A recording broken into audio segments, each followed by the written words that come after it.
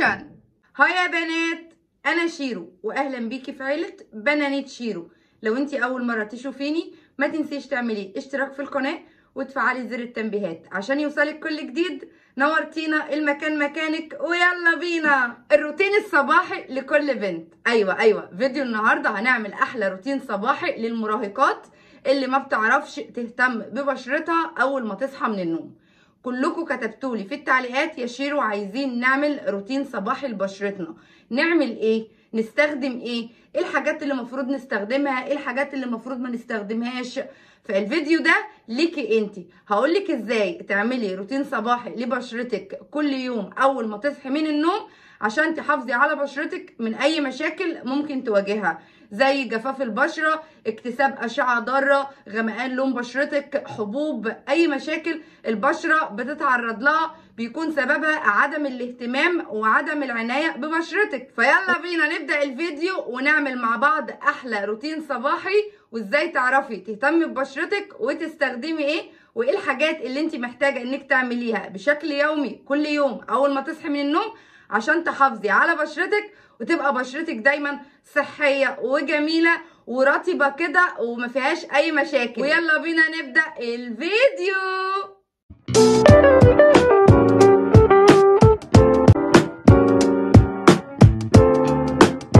أول حاجة مفروض كل بنت تعملها أول ما تصحى من النوم وهي إن إحنا نغسل بشرتنا بالغسول المناسب على حسب نوع بشرتك. ولكن لو انت بشرتك جافة أو عادية وغاسلة بشرتك كويس جدا وعاملة لها الروتين المسائي. قبل ما تنامي فاستكفي بس إن انت أول ما تصحي من النوم اغسلي وشك بمية فترة. ما تغسليش غسول خالص يا دوبك رشي بس وشك بمية فترة وبعد كده تنتقلي لباقي الروتين اللي إحنا هنعمله في باقي الفيديو.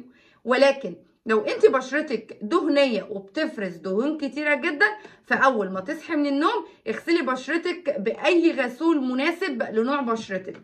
يعني تغسلي وشك بالغسول الأول وبعد كده تنتقلي لباقي الروتين اللي إحنا هنعمله في البشرة. فأنا دلوقتي هغسل بشرتي بالغسول بتاعي وأرجع لكم تاني. هجيب مناديل أو فوطة قطنية وتكون خاصة بيكي انت فأفضل حاجة جيبي مناديل. وابدأي نشفي وشك كده عن طريق الطبطبة. إن أنت تبدأي تطبطبي على وشك عشان تنشفي وشك وتتجنبي إن أنت تجرحي بشرتك أو تأذي بشرتك فالطبطبة يا بنات. مهمة جدا لإزالة الزوائد من البشرة. بلاش العنف مع بشرتك ما تبقيش عنيفة. تاني خطوة يا بنات اللي هي استخدام ال toner لبشرتنا. تقدري ال toner بتاعك يكون بسيط جدا. انت كل اللي محتاجاه حاجة تسهل عليكي توزيع بقية المرطبات على بشرتك وفي نفس الوقت تدي ترطيب لبشرتك كويس جدا.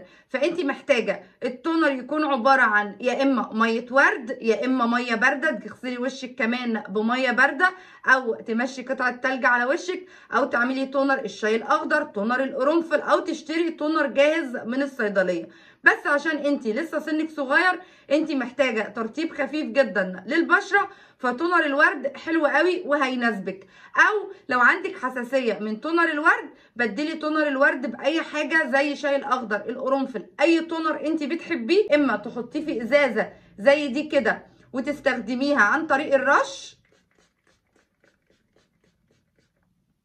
ان انت ترشي على بشرتك ال toner كده أو هتجيبي مية الورد عادي جدا وتكوني طبعا حافظاها في التلاجة لأن كل ما بنحتفظ بمية الورد والتونرات في التلاجة بتحافظ على عمرها وكمان لما بتكون باردة على البشرة بتبقى حلوة قوي. هتجيبي ال toner على إيدك. في بنات بتحط ال toner بقطنة وده غلط جدا لأن ال toner اللي في القطنة بالقطنة بتمتص ال toner منك.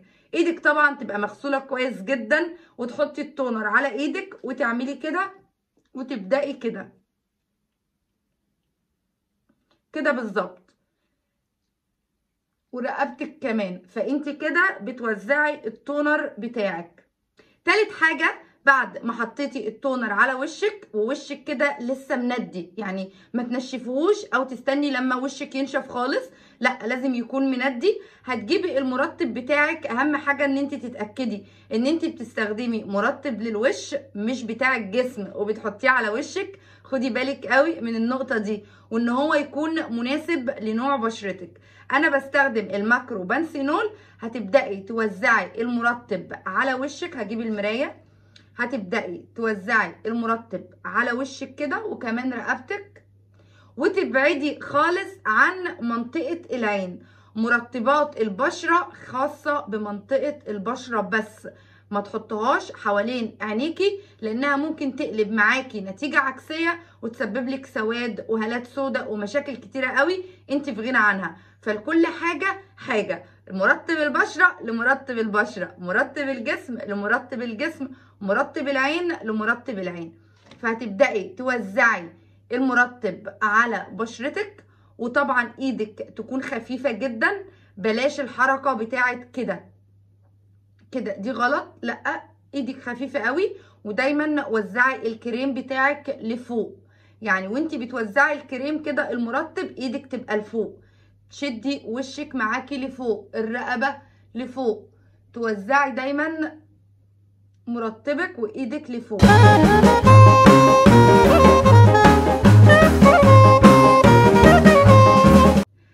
ما حطيت كريم مرطب البشرة هننتقل للخطوة الرابعة وهي مرطب حوالين منطقة العين. تقدري تشتري أي مرطب للعين مناسب لسنك أو إن أنت تستخدمي أي زيوت خفيفة قوي زي زيت اللوز أو زيت الارجان وتبدأي تحطيه يا دوبك كده تحت عينك خفيف عشان يديله ترطيب وفي نفس الوقت تبعدي عن خط الرموش عشان خاطر ما يسببلكيش اكياس دهنية أو يدخل في عينيكي فيأذيكي. فأنا دلوقتي هستخدم معاكم الزيت عشان اوريكم إزاي بنستخدمه. بصوا أنا جبته أهي بالصابع ده. الصابع ده يا بنات أخف صابع للعين حلو جدا. ويا دوبك تعملي كده. بصي حاجة لا تذكر مجرد مسحة خفيفة جدا. وتبدأي من تحت من هنا كده تطبطبي. يعني بصي ما تحطيش كمية الزيت بالهبل. انت يا دوبك عايزة مسحة خفيفة جدا. بصي كده. المسحة اللي انت عايزاها دي كفاية جدا. نفس تاني في العين كده. بصي مسحة لا تذكر يا دوبك مسحة. مرطب العين ومرطب البشرة على بشرتي هستنى شوية من 3 دقايق لخمس دقايق. مهم جدا يا بنات إن إحنا نستنى ما بين كل منتج ومنتج هنحطه على بشرتنا من 3 دقايق لخمس دقايق. عشان كده ما يختلطوش كل المكونات مع بعض وممكن يقلب معاكي نتيجة عكسية. فادي مسافة بين كل منتج ومنتج حتى لو دقيقتين. ما ما تحطيش كل حاجة ورا بعض ورا بعض ورا بعض ولا لا لا لا لا, لا خالص. لو عجبك الفيديو ما تنسيش تحطي لايك وتعملي اشتراك في القناة وتفعلي زر التنبيهات عشان يوصلك كل جديد. بعد ما عدى 3 دقايق جبت كريمات الحماية بتاعتي من الشمس. استخدمي كريم الحماية المناسب ليكي والمناسب لسنك ودي خطوة مهمة جدا. اوعي ما تستخدميهاش سواء كنتي قاعدة في البيت أو هتخرجي.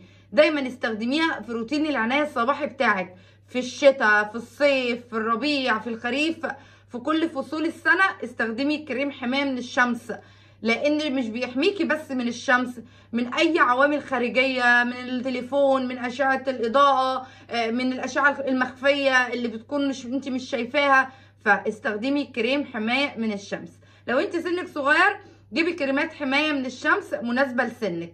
فأنا هاخد كريم حماية من الشمس ولو أنتوا عايزين فيديو كامل إزاي تعرفوا إيه كريم الحماية المناسب تختاروه وايه الكميات اللي المفروض نحطها على بشرتنا وفوائدها وأضرارها اكتبوا لي في التعليقات وأنا متحمسة جدا إن أنا أعمل لكم فيديو عن اختيار كريم الحماية الشمس المناسب ليكي. أبدأ أوزع كريم حماية من الشمس كده وأحط كمية مناسبة لأن ده مش مرطب يا بنات فلازم أحمي بشرتي كويس جدا. وكمان الرقبة وكمان إيدك. ولو انت مثلا رجلك بتبان منك كمان رجلك تمام؟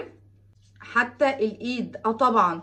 يعني حطوا كريمات حماية من الشمس في كل منطقة هتبان منك. لو انت مش محجبة وبتلبسي مثلا بنص أو قط في كريمات حماية من الشمس بتكون بادي لوشن للجسم. دي برضو جيبيها واهتمي بنفسك. هبدأ بقى دلوقتي أوزع كريم الحماية من الشمس بنفس طريقة المرطب لفوق. في ناس هتقول لي الكمية كتيرة لأ الكمية مش كتيرة جدا الكمية مناسبة قوي وكمان أنا مقللة لأن أنا بحطه قبل ما بخرج من البيت بنص ساعة أو ربع ساعة لازم البشرة بتاعتي تتشربه كله. يعني لازم بشرتي تتشرب الكمية دي كلها عشان أستفاد منها وأحمي نفسي كويس جدا من الشمس.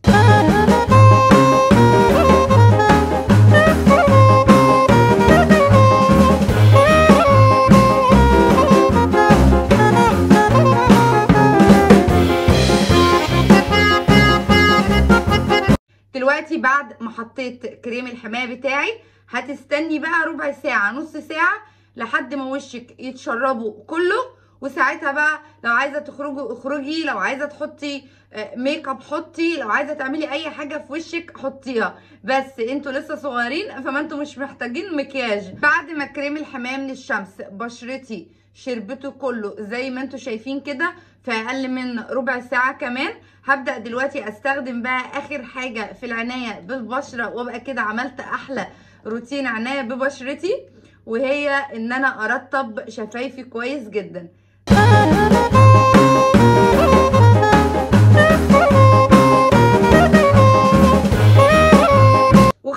ورطبت شفايفي. دلوقتي عرفتوا إيه هو الروتين الصباحي المناسب لبشرتك. نغسل بشرتنا سواء كان بالغسول أو بالمية على حسب نوع بشرتك واحتياجها. طالما انت لسه صغيرة تحطي التونر على بشرتك ترطبي بشرتك بكريمات مرطبة مناسبة. ترطبي حوالين منطقة العين كويس جدا بكريمات خاصة بيها. تستخدمي كريمات حماية من الشمس وترطبي شفايفك. وده هو الروتين الصباحي لأي بنت مبتدئة عايزة تهتم ببشرتها وتحافظ عليها. لو أنتوا عايزين الروتين المسائي كمان اكتبوا لي في التعليقات. عشان ده حلو قوي! لو عجبك الفيديو ما تنسيش تحطي like وتعملي اشتراك في القناة وتفعلي زر التنبيهات عشان يوصلك كل جديد! وبعد ما خلصنا الروتين الصباحي ننتقل للفقرة اللي أنتوا طبعا بتحبوها وأنا بحبها وهي فقرة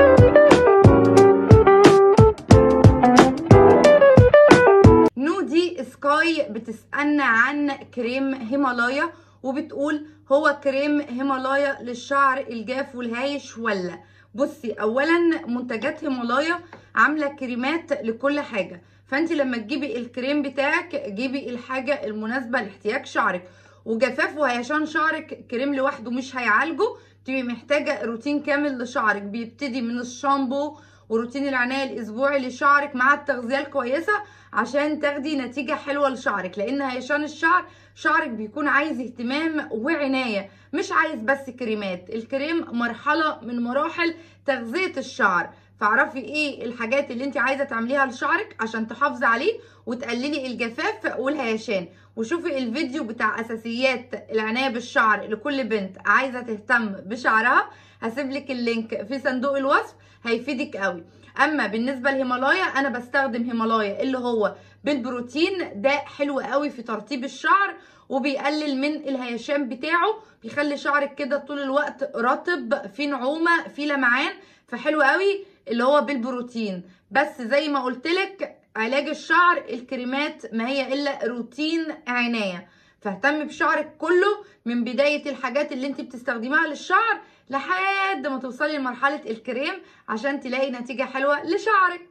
سارة يا بنات بتعاني من المشكلة اللي البنات كلها تقريبا أو ثلاث أرباعنا كبنات بنتعرض لها قبل ال period وهي مشاكل ألم ال period اللي هي ألم في أسفل الظهر ما بتقدرش تمشي. عايزة أقول لك إن في بنات بتكتئب وفي بنات بتتعصب وفي بنات ب... في بنات بتتخانق مع الناس كلها. أنا واحدة منهم ثلاث ارباع صحباتي بخسرهم قبل ال period يعني ببقى عصبية لدرجة إن أنا مش طايقة أي حد قدامي. فده شيء طبيعي جدا. أهم حاجة بس اتدفي كويس اشربي حاجات دافية وسوائل دافية كتير. إيه، البسي شراب في رجلك ارتاحي في البيت. لو ما قدرتيش تتحملي الألم ألم قوي قوي خدي أي مسكن خفيف للألم ويكون مرة واحدة بس أو استشيري الطبيب. لكن الموضوع طبيعي وبيحصل لنا كلنا لأن دي بتبقى أعراض ال period يعني اللي هو بتقول لكم أنا جاية افسحوا الطريق. أبرار بتقول لنا الفيديوهات حلوة قوي وهي مبسوطة إنها بتتابعنا وبتستفاد مننا كتير جدا. أنا مبسوطة إن أنا بفيدكم وبجد بحب أشوف تعليقاتكم الحلوة دي. بتفرحني قوي بتخليني عندي استمر... استعداد واستمرار كده إن أنا أكمل وإن أنا أبقى كل يوم قايمة أصور فيديو. فربنا يخليكم ليا وميرسي جدا على دعمكم. وما تنسوش تشيروا الفيديو صحباتكم هما كمان يستفادوا. عايزين نوصل مئة ألف يا بنات عايزين ناخد درع اليوتيوب.